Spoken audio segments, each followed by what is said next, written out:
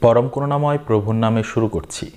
সুফিজম্বির YouTube চ্যানেলে আপনাদের সবাইকে স্বাগতম। আপনাদের সাথে আছি আমি ডি এম রাহাত। এক ভাই প্রশ্ন করেছেন যে, গুরু কেন হৃদয়ে থাকবেন? আল্লাহ কি নেই? গুরুর উচিত আল্লাহ সম্পর্কে জ্ঞান দান করা। তার বদলে সে আল্লাহর স্থানগুলো দখল করবে নাকি? শিক্ষার বাইরে তার সাথে মনের মিলন কিংবা ভাবের মিলনটাই কেন হবে? শিক্ষার বাইরে গুরুর সাথে বেশি মনের আদান প্রদান করলে আল্লাহর দয়া কীভাবে পাওয়া যাবে?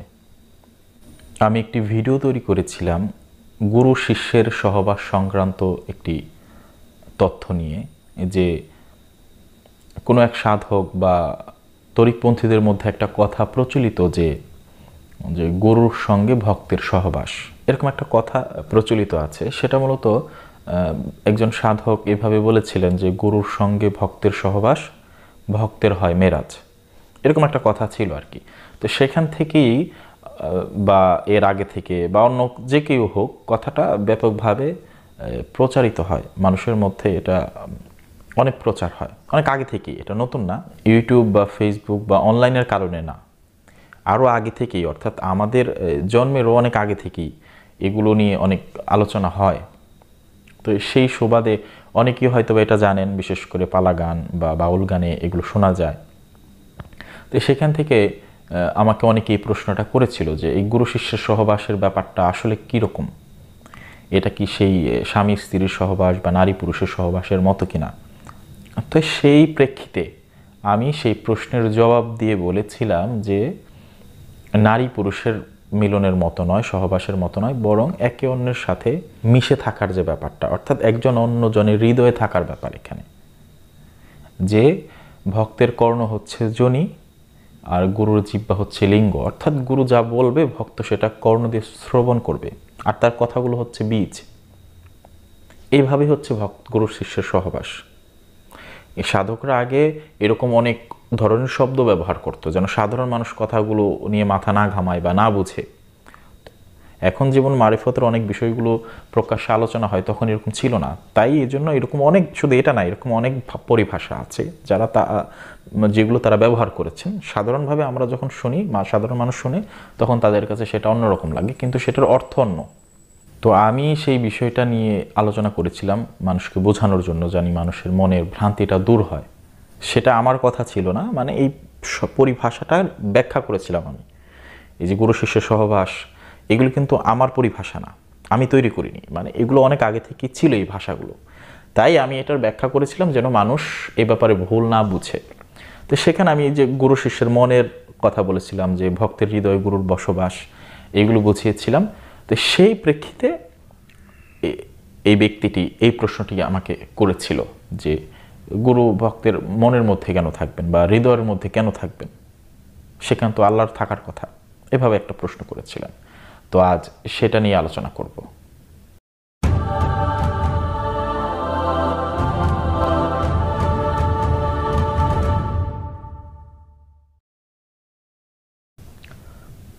আল্লাহ আছেন। কিন্তু আমরা কি তাকে সেভাবে স্মরণ করতে পারি কিনা? স্মরণ করলে কি স্মরণ করি?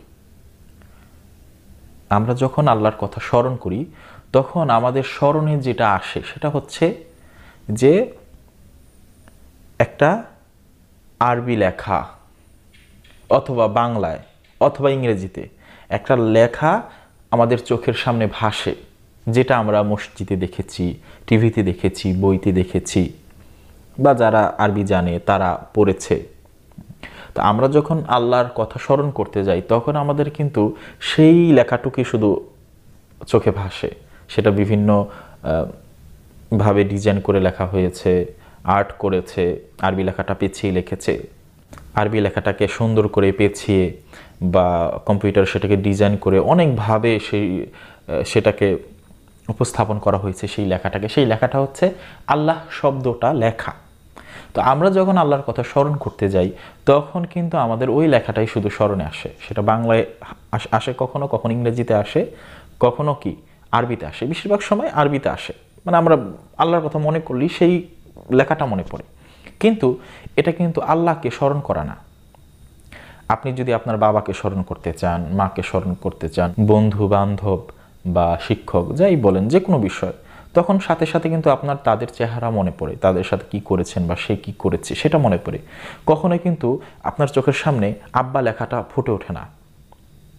আম্মা লেখাটা ফুটে ওঠে না, মা লেখাটা ফুটে ওঠে না। ফুটে ওঠে আপনার মায়ের চেহারাটা, আপনার বন্ধুর সেই নাম ফুটে ওঠে না লেখাটা, বরং চেহারা ফুটে ওঠে। তার মানে স্মরণ বলতে কি বোঝাচ্ছে? যে তার চেহারাটা যেন আপনার সামনে ভাসবে, এরকমই তো। কিন্তু আল্লাহর বেলায় কিন্তু তেমনটা ঘটে না। আল্লাহর কথা মনে করতে গেলেই আমাদের সেই লেখার কথা মনে পড়ে। এর কারণ হচ্ছে, আল্লাহকে তো আমরা দেখি নাই।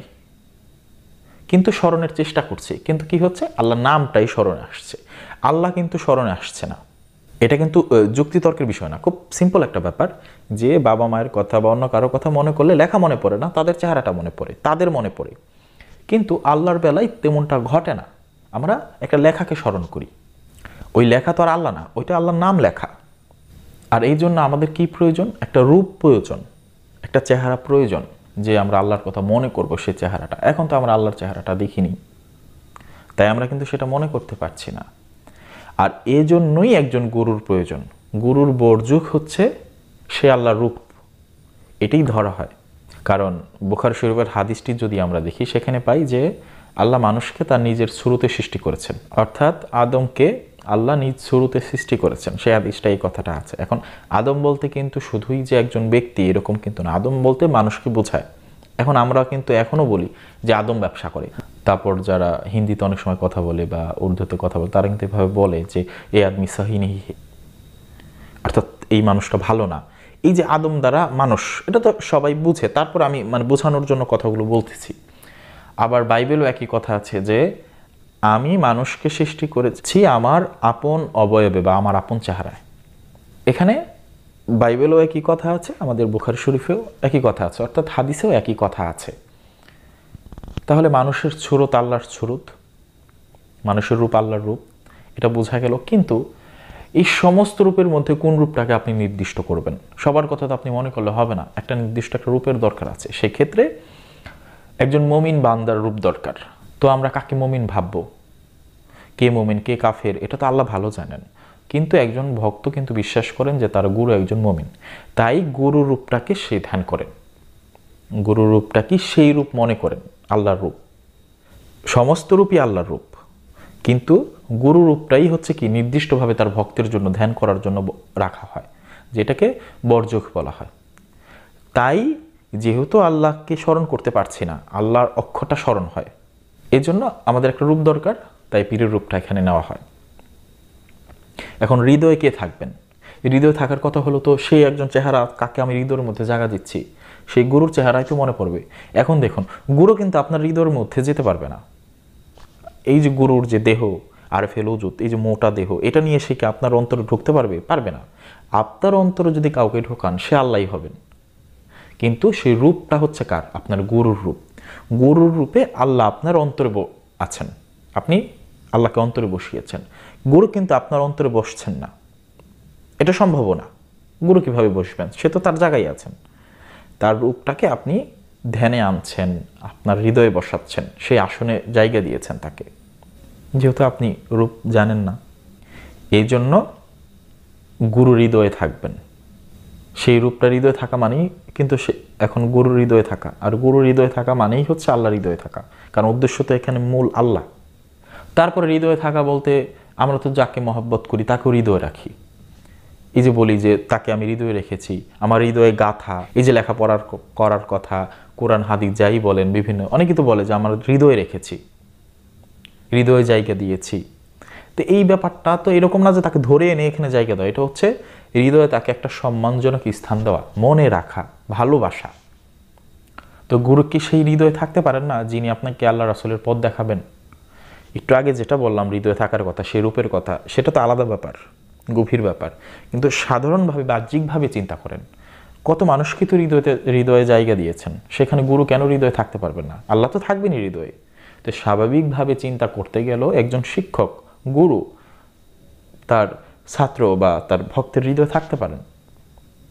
এখানে মন্দের কিছু নেই, সেরেকের কিছুই নেই। তারপরে যে কথাটি এসেছে, সেটা হচ্ছে, গুরু কেন আল্লাহর স্থান দখল করে থাকবেন? তিনি তো শিক্ষক। হ্যাঁ গুরু আল্লাহর স্থান দখল করেন না কখনো। তিনি শিক্ষক, তিনি শিক্ষা দেন। গুরু রূপে আল্লাহ বিরাজ করেন। কিন্তু কথা হচ্ছে, তিনি আল্লাহ না হন, তিনি রাসুল না হন, কিন্তু তিনি আল্লাহ এবং রাসুলের প্রতিনিধি মানে নায়েবে রাসুল। একজন পীরের আনুগত্য করা মানেই রাসুলের আনুগত্য করা, আর রাসুলের আনুগত্য করা মানেই কিন্তু আল্লাহর আনুগত্য করা। চাইলে কোরআন, হাদিস থেকে অনেক রেফারেন্স দেওয়া যায়, কিন্তু আমার আলোচনাগুলোতে আমি রেফারেন্সগুলো টানি না। আরও অনেক বক্তা আছেন যারা রেফারেন্স দিয়ে কথা বলেন, সেটা আলাদা চ্যাপ্টার এখানে শুধুমাত্র তারাই কথাগুলো শোনার চেষ্টা করেন, যারা এই বিষয়গুলো আগে থেকে একটু একটু বুঝেন। তো এখানে দলিলের ব্যাপারটা তো আলাদা। তো একজন পীরকে আপনি কেন ভালোবাসছেন? আল্লাহর জন্যই তো, এটা তো সহজে বোঝা যায়। এই যে যদি আমরা আমাদের মসজিদের ইমামের কথা বলি বা আরও যে হুজুর আলেম আছেন, তাদেরকে যে সাধারণ মুসলিমরা যে ভালোবাসার কথা বলে, কেন ভালোবাসেন? ধর্মের জন্যই তো ভালোবাসতেছে। এখন গুরুকে ভালোবাসার পর্বটা কিসের? সেটা কি দুনিয়া কেন্দ্রিক না আল্লাহ রাসুলের জন্য? তো সেই ভালোবাসাটা তো আল্লাহ রাসুলের জন্য। আর একজন পীর হচ্ছেন আল্লাহ রাসুলের প্রতিনিধি। তারা আল্লাহ রাসুলের প্রতিনিধিত্ব করছেন। যেহেতু এখন রাসুল নেই। তার যে রেসালাতের যে দায়িত্ব দিয়ে গেছেন, এই যে কোরআন, হাদিস বলেন, আধ্যাত্মিকতা বলেন, সুফিবাদ যাই বলি, যে পরিশুদ্ধতার জন্য যে জ্ঞানের প্রয়োজন, সেই জ্ঞান তো রাসুল থেকে ধারাবাহিকভাবে এসেছে। এখন তো রাসুল সেভাবে নেই। আমরা তো আর রাসুলকে পাচ্ছি না। তাহলে এই কাজটা কারা করছেন? এটা হচ্ছেন পীরাউলিয়ারা করছেন। রাসুলের সেই কথা, রাসুলের সেই আদর্শ তা আমাদের মাঝে পৌঁছে দিচ্ছেন। অর্থাৎ আল্লাহ রাসুলের অবর্তমানে তারা কি করছেন? আমাদের সেই কাজটা করছেন, যেটা রাসুল করার জন্য দুনিয়াতে এসেছিলেন তাই তাদেরকে বলা হয়, তারা হচ্ছে কি? নায়েবে রাসুল। তাদেরকে ভালোবাসা মানেই রাসুলকে ভালোবাসা। রাসুলকে ভালোবাসা মানে কি? আল্লাহকে ভালোবাসা। এখন আমরা যদি কোনো বড় প্রধান অতিথি বা কোনো মন্ত্রী বা যে কাউকে হোক, আমাদের কোনো অনুষ্ঠানে একটা দাওয়াত দিই, সেখানে প্রধান অতিথি অমুক। এখন সেখানে কিন্তু একটা আসন থাকে। তো সে যখন না আসতে পারে, তখন কি করে? অন্য কাউকে পাঠায়, তখন বলে দেয়, আমার ছোট ভাই যাবে বা আমার অফিসের অমুক কর্মচারী যাবে। তখন কি করতে হয়? সেই প্রধান অতিথির জায়গাটা কিন্তু সে বসে। এটা স্বাভাবিকভাবে দুনিয়াদারি নিয়মই, যে কোনো জায়গায়। তো যেহেতু আল্লাহ রাসুলের প্রতিনিধি, তো আমরা তাকে কোন জায়গায় বসাবো? আমরা তো তাকে একটা সম্মান দিব। তো যে প্রতিনিধিত্ব করে, তাকে একটা আসন দিতে হয়। তো গুরুর আসনটা সেরকমই। স্থূলের যত গুরু আছে, তাদের চাইতে অনেক ঊর্ধ্বে হচ্ছে কি? একজন মুর্শিদ বা পীর, কারণ তিনি আল্লাহ রাসুলের প্রতিনিধি, তাকে সবচাইতে বেশি ভালোবাসতে হবে। তার আসনটা সর্বোচ্চ স্থানে থাকবে, এটাই তো স্বাভাবিক। কারণ তাকে তো আপনি আল্লাহ রাসুলের জন্যই ভালোবাসেন, অন্য কোনো কারণে ভালোবাসেন না। তো তার আসনটা কোথায় থাকবে? এটা তো বোঝারই কথা। এখন যদি এভাবে ভেবে নেন, তাকে আল্লাহর আসনে বসিয়ে দিয়েছেন, সে আল্লাহ হয়ে গেছে, তাকে আল্লাহ বলছেন সেরেক, এটা তো আপনার চিন্তাধারাই অন্যরকম হচ্ছে। যদি আপনার কোনো অনুষ্ঠানে কাউকে দাওয়াত দেন, মন্ত্রী হোক বা রাষ্ট্রপতি হোক, যেই হোক, তাকে যদি দাওয়াত দেন, সে না আসাতে যদি অন্যজন, তার চাইতে ছোট কেউ আসেন, সে যদি পাঠায় প্রতিনিধি হিসাবে, তাহলে কি? তাকে সে আসনে বসতে দিলে কি? সে সেই মন্ত্রী হয়ে গেল? না। আপনি তাকে সেই সম্মানটা দিচ্ছেন, কারণ সে তার প্রতিনিধি। তো গুরুর ক্ষেত্রে সেটাই। সে হচ্ছে আল্লাহ রাসুলের প্রতিনিধি। তাই তার আসনটা সর্বোচ্চ। তিনি আল্লাহ রাসুলের জায়গা দখল করে আছেন না। বরং আপনিই তাকে আল্লাহ রাসুলের জন্য ভালোবাসবেন, তাকে সেই আসনটা দিবেন। তারপর বলা হয়েছে যে, মনের মিল বা ভাবের মিল কেন থাকবে? অবশ্যই মনের মিল থাকতে হবে, ভাবের মিল থাকতে হবে গুরুর সাথে। মনের মিল না থাকলে আপনি আল্লাহকে কীভাবে লাভ করবেন? যে আপনার পথ প্রদর্শক, মুর্শিদ, পীর তার সাথে যদি আপনার মনের মিল না থাকল, মহব্বত না থাকল, ভাবের মিল না থাকল, ভাবের আদান প্রদান না হলো সেভাবে, তাহলে তো আল্লাহকে পাওয়ার কোনো সম্ভাবনা নেই। তাই গুরুর সাথে মনের মিল, ভাবের মিল থাকতেই হবে, এটা আবশ্যক। ভক্ত হওয়ার শর্তই হচ্ছে এটা, যে গুরুর সাথে একদম এক হয়ে যাবে ভক্ত। গরুর রঙে ভক্ত রঙিন হবে। তাকেই বলা হয় ভক্ত, যে গরুর রঙে রঙিন হয়। যখন সে গুরুর রঙে রঙিন হয়, তখন সে রাসুলের রঙে রঙিন হয়। যখন সে রাসুলের রঙে রঙিন হয়, তখন সে আল্লাহর রঙে রঙিন হয়। তাই ভাবির মিল এবং মনের মিল তো অবশ্যই প্রয়োজন। তারপর বলেছে যে, শিক্ষার বাইরে গুরুকে বেশি গুরুত্ব দিলে, বেশি ভালোবাসলে, বেশি মনের আদান প্রদান করলে আল্লাহর দয়া কীভাবে পাওয়া সম্ভব? অর্থাৎ তাকে যদি এত প্রায়োরিটি দেওয়া হয়, গুরুত্ব দেওয়া হয়, তাহলে তো আল্লাহর দয়া পাওয়া যাবে না। এটা প্রশ্ন করেছিল। যেটা। এখন কথা হচ্ছে, না, ব্যাপারটা সেরকম নয়। বরং গুরুকে ভালোবাসলেই আল্লাহর দয়া আরও বেশি বেশি পাওয়া যাবে। কারণ গুরু তো আপনাকে জানাবেন কি করলে, কীভাবে দয়ালের দয়া বেশি বেশি পাওয়া যায়। এটা তো তিনিই আপনাকে জানাবেন। তারপরে এই যে বলা হলো যে শিক্ষার বাইরে কেন তাকে এক্সট্রা কেয়ার করা বা ভালোবাসার যে কথাটা বলা হলো, কেন করতে হবে এটা? হ্যাঁ এটা এই জন্য করতে হবে আমরা যে এই যে শিক্ষক লেখাপড়া করি যাদের কাছ থেকে যারা আমাদের শিক্ষক আছেন, শিক্ষার বাইরে কি আমরা তাদেরকে মূল্যায়ন করি না, ভালোবাসি না? কখনো শ্রদ্ধা করি না?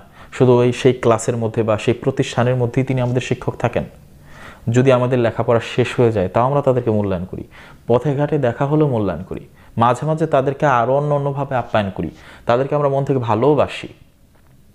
তো এটা কি আমাদের অন্যায়? দুনিয়াদারি শিক্ষার ব্যাপারেই তো এটা অন্যায় না। বরং এটাই প্রয়োজন। শিক্ষকের কিন্তু অনেক গুরুত্ব আছে ইসলামে। সেটা আলাদা চ্যাপ্টার আমি সেই দিকে যাচ্ছি না। সেখানে ইনি তো হচ্ছেন আত্মার শিক্ষক। আপনার আত্মাকে তিনি পরিশুদ্ধ করবেন। তিনি তার সেই শিক্ষা থেকে আপনি নিজেকে পরিশুদ্ধ করবেন। আল্লাহ রাসুলকে পাওয়ার পথ তিনি দেখাবেন। কীভাবে আল্লাহর দয়া পাওয়া যায়? কীভাবে রাসুলের দয়া পাওয়া যায়? এই পুরো পথটা তিনি আপনাকে শেখাবেন হাতে কলমে।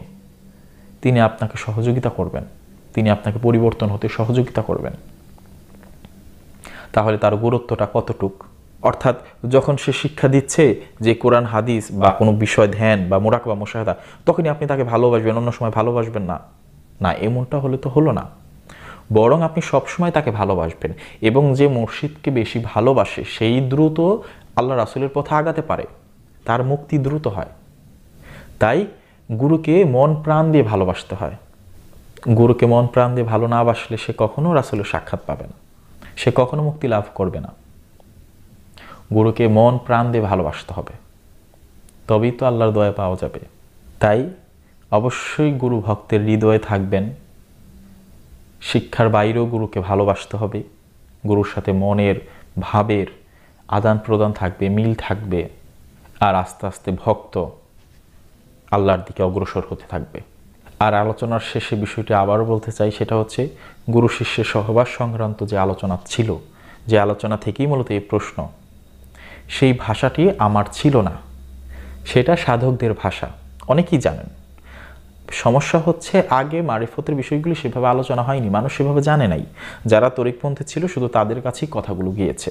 কিন্তু এখন বিভিন্ন অনলাইন প্ল্যাটফর্মের কারণে দেখা গেলো পালাগানে সেই কথাগুলো আলোচনা হয় বা ইউটিউবে সেই বিষয়গুলো আলোচনা হয়। যেমন আমি আলোচনা করতেছি।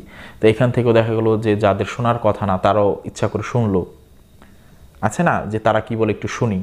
গিবোধ করার জন্য কিন্তু অনেক অনেক আর আলোচনা শুনে, ভুল ধরার জন্য। তো দেখা গেলো সেই কথাটা তারা শুনেছে এবং সেটা নিয়ে অনেক মানে একটা খারাপ ব্যাখ্যা করার চেষ্টা করেছে। মূল ভাবটা বুঝেনি। তাই আমার কাজ ছিল সেটার সঠিক ব্যাখ্যা করা, যেন মানুষ ভুল না বুঝে।